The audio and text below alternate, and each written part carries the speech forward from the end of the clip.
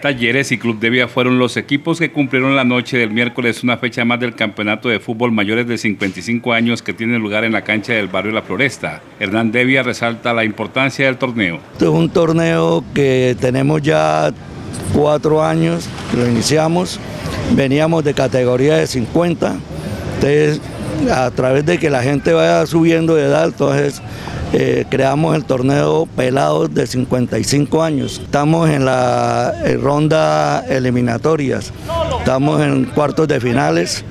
este partido es ida y vuelta.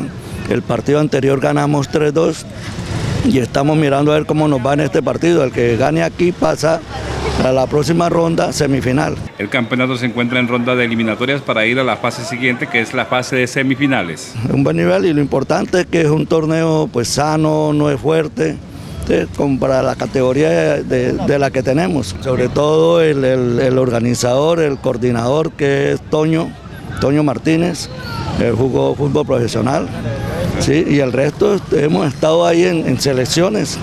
Usted también, usted Selección Barranca hemos ido en estas categorías a Cali, a Medellín y hemos estado representando a Barranca en otros torneos, en otros nacionales. En este campeonato participan figuras que lo fueron en el fútbol local, demostrando aún estos jugadores buen nivel.